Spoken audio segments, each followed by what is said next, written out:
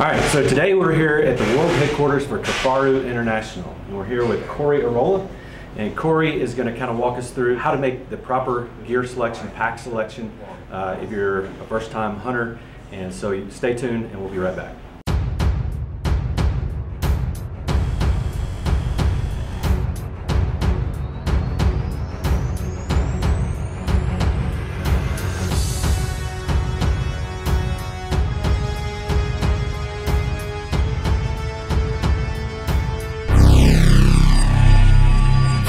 Okay, so I've mentioned in the last couple of videos that in September I'll be making my first backcountry elk hunt.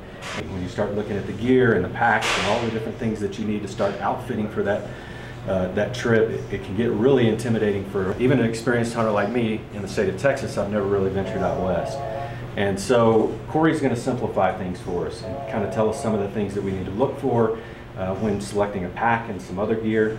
Um, so Cory, just, first of all, just to get started, uh, how long have you been with Kifaru? I've been here just over a year. Okay, so a person like me, and a lot of our viewers are probably doing that, um, what, what, are some of the things that we need to consider when we're selecting pack? You know, um, we're used to driving our pickup trucks and you know unloading our gear at our hunting location, uh, especially there in, in Texas. So when we're outfitting for a hunt like this, what are some of the considerations that we need to, think as far as selecting the right pack, selecting the size, those kind of things? So when you come out west, you're doing a combination of hunting and backpacking. Right.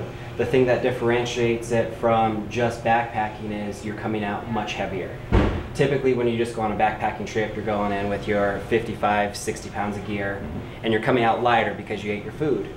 The goal with backpack hunting is to come out with meat. Right. So you're going in with 55, 60 pounds of gear, but you're going to come out with a couple loads of 80, 100, 120 pounds. So you need a backpack that can stand up to that as well as expand to take that extra load. Um, our backpacks are designed with the thought process, thought process of you're going in with your kit, all your camping gear, your hunting gear, and then you're going to be coming out with meat on top of it. Right. Now when you get to camp and drop it off, you want a backpack that compresses down into day pack mode and then expands back out. So all of our packs here are designed to go in with your gear, compress down, expand out, get everything out, and the format and layout of the pack is to be able to hunt with it when it's full and hunt with it when it's compressed. Knowing that I was going to be doing a hunt for for quite some time. I didn't I didn't know exactly when, but over the last couple of years, I've kind of been doing some research. And of course, on TexasBowhunter.com, there's always people coming out west, and so I kind of pay attention to those. And one of the things that I, have noticed just in, in, kind of lurking or watching, it seems like there um, there are a few packs that kind of stand out above the rest when you're talking about the upper echelon, the premium packs. Kind of the three that come to mind are off the top of my head that I've seen are, are Kifaru, Exo Mountain Gear, and uh, and Stone Glacier. And all those packs are kind of in the same price range.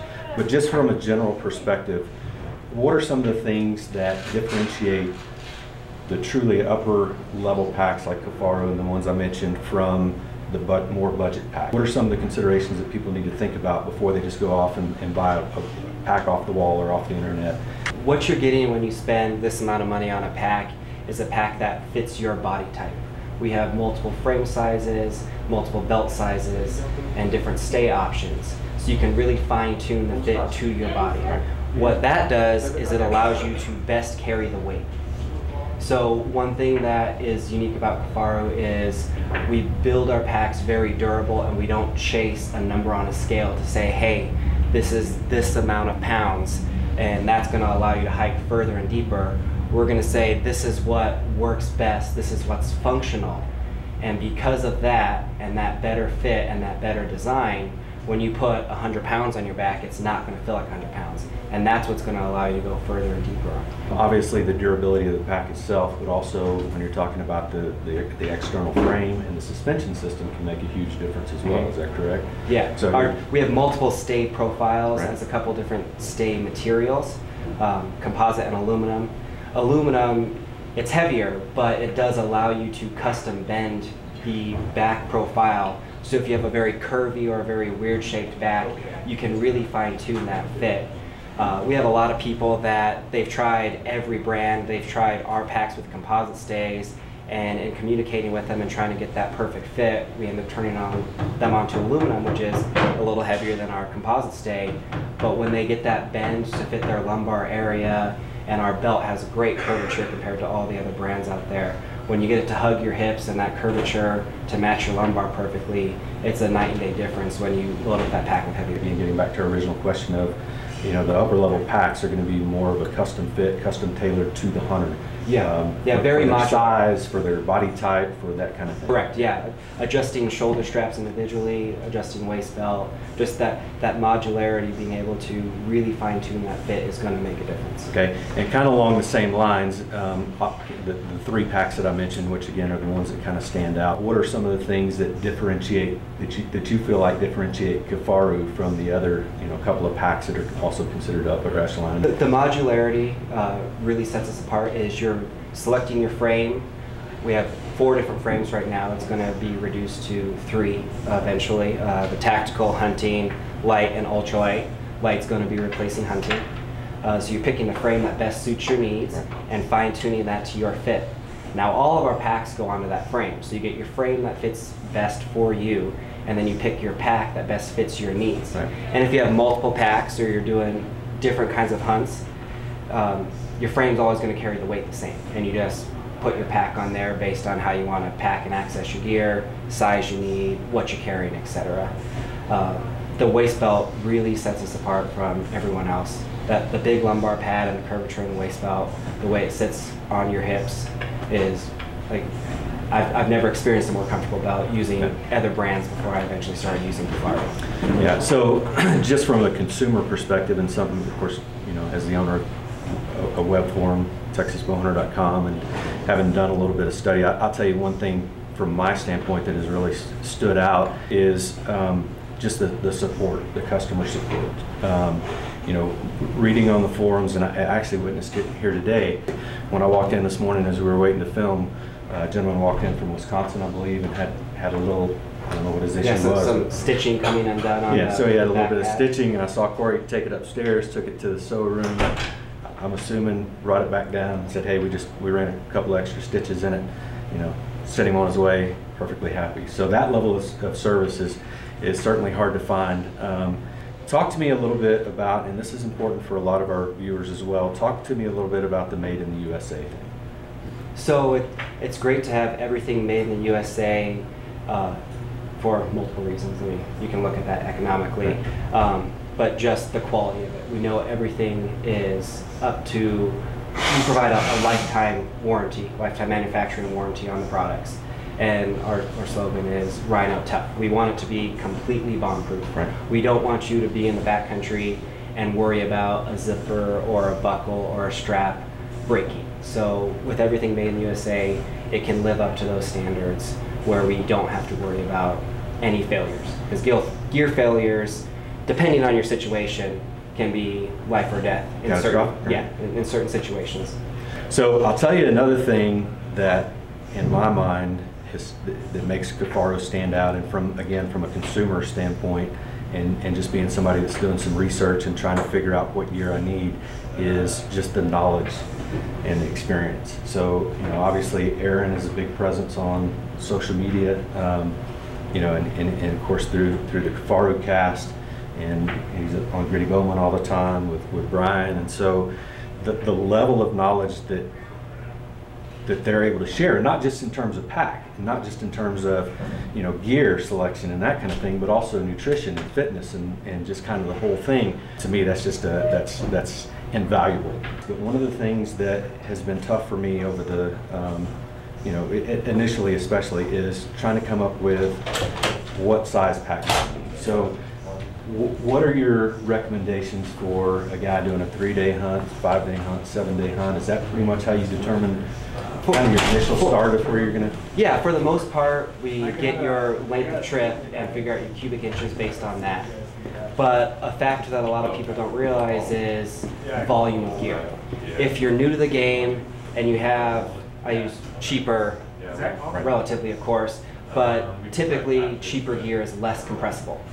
So if you're new to the game and you don't have lightweight, ultralight gear, you're going to need a larger bag for a shorter trip just because of the volume issue. Um, so typically speaking, we'd be looking for the three to four thousand cubic inch bag as your three to four day pack, your weekender pack. We're looking around six thousand cubic inches for your five to seven day pack, Okay. and then seven thousand plus for ten to fourteen days. And y'all offer packs that are everywhere from what's, what's the smallest, eleven hundred? Yeah, yeah, we, we have little everyday carry packs and lids that double as day packs up to uh, a 8,000 cubic inch pack for expedition style. What also sets Kifaru apart is the modularity. All of our bags have the ability to attach external pockets, lids, and pouches to it. So when you're getting that, um, we'll jump to the Woodsman as an example here. It's a 3,400 cubic inch pack with the fold over top here if you extend the top up and call it a snow collar now and run a lid over it, you're at 4,000 cubic inches with an 1,000 cubic inch lid over it. So all of a sudden you can get five or six days out of your smaller pack if you're smart about packing.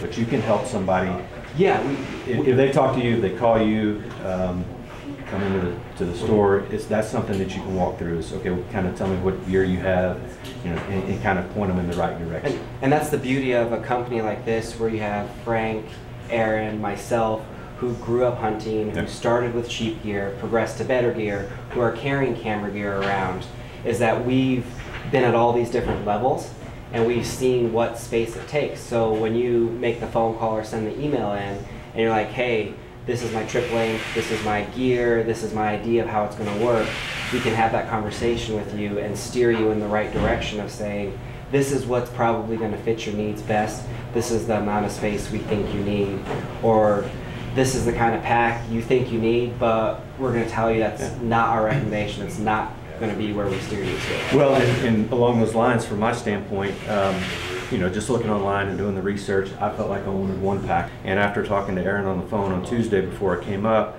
um, and explaining to him the camera gear that I was bringing and that kind of thing, he actually steered me in another direction. So, uh, and then he suggested that since I was going to be in town anyway, come by, check out a few of the packs, pick the one that I thought looked the best, felt the best, that kind of thing. So we're going to do that after this. Just a couple other quick things, and I'll let you go, Cory. We'll, we'll see about getting getting a pack on order for me. Um, you can't have that today, right?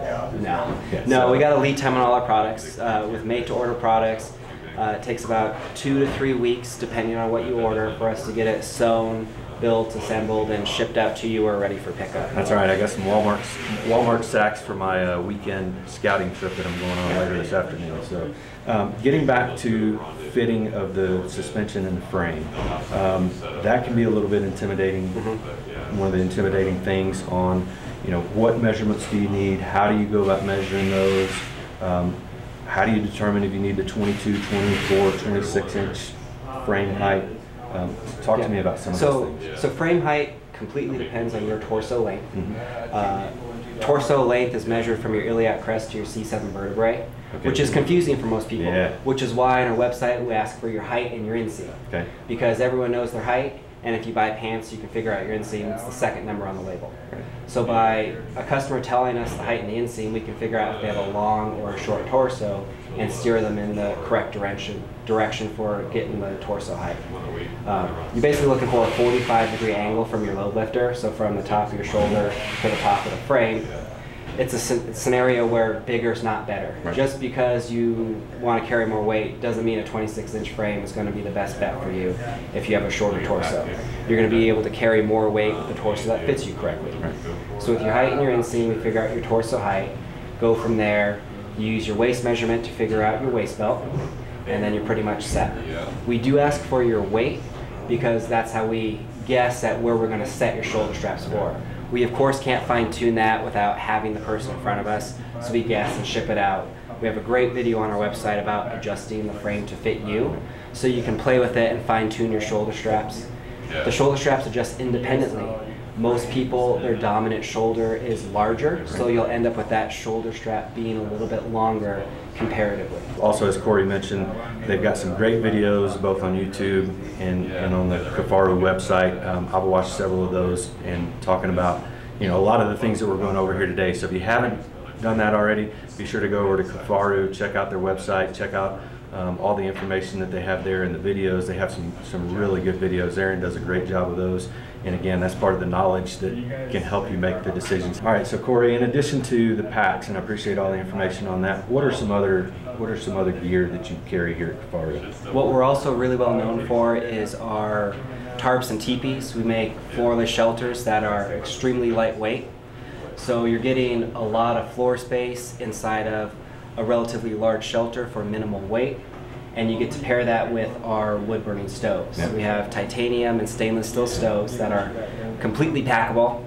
Compress them down, put them in your pack with the shelter so you can get into the backcountry and you have heat to keep you warm in the later seasons as well as dry out gear in wet weather. And that is really a game changer when you can be on a seven day hunt, get wet on day Yeah. two, and dry out all of your equipment. Do you have anything new that you're working on for this year? For- We're, we're had- always working on improving all of our products. We do listen to customer feedback, no matter what forum you post it on, Rokslide, Instagram, Facebook. Um, we're always looking to improve everything we can. TexasBowhunter.com. yeah, we're always looking to improve everything that we can, and we're always out testing. We come up with a new design, take it out, try it out, modify it a little bit, try it out again.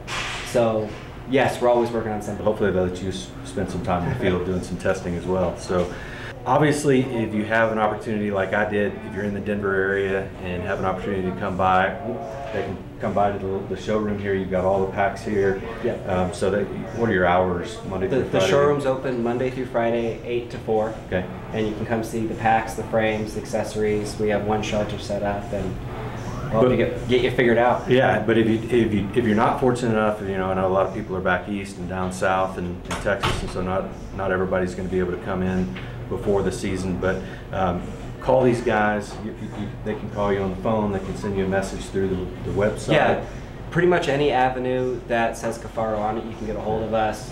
Phone, email, Instagram, Facebook.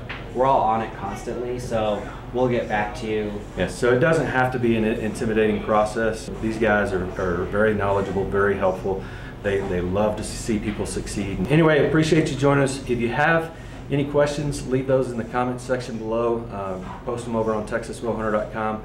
Uh, as always, appreciate you joining us. I'm getting ready to head out for a three-day pack. We're, I'm going to do some uh, some hiking and some scouting, and so uh, I'll be reviewing some gear while I'm there. So again, appreciate you joining us, and as always, I look forward to seeing you on the next one.